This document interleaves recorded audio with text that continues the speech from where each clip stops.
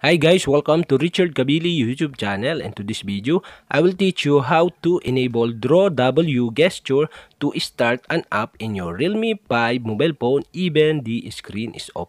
And okay guys, but before we start, kindly subscribe to my YouTube channel by pressing the subscribe button and the bell to notify you if I have new videos. Okay guys, let's start. So okay guys, all have to do is go to setting in your Realme 5 mobile phone And okay guys, here in settings, okay, scroll down and find the convenient tools. Okay, you'll have to do is click this. And okay guys, here in convenient tools, okay, you can see the gestures in motion. Okay, you'll have to do is click this. And okay guys, here in gesture in motion, okay, you can see on the top the screen of gestures.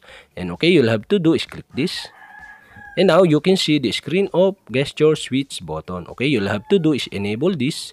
And now you can see below the add gestures. And okay, you'll have to do is click this. And okay guys, now you can see the draw W gesture. And okay, you'll have to do is click this. And okay guys, in this tutorial, I will show you how to enable draw W gesture to start an app in your Realme 5 mobile phone even the screen is open. Okay guys, you'll have to do is select or click the start an app.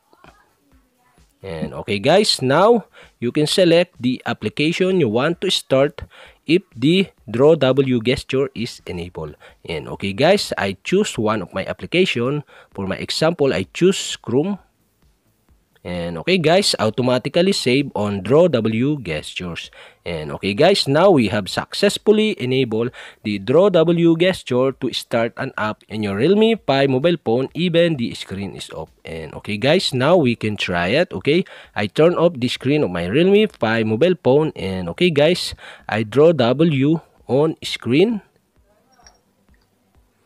And okay guys, we have successfully enabled the Draw W gesture to start an app in your Realme 5 mobile phone even the screen is off. And okay guys, that's it. And if you have a question, kindly comment below. And don't forget to hit the subscribe button and the bell to notify you if I have new videos. Okay guys, thank you for watching.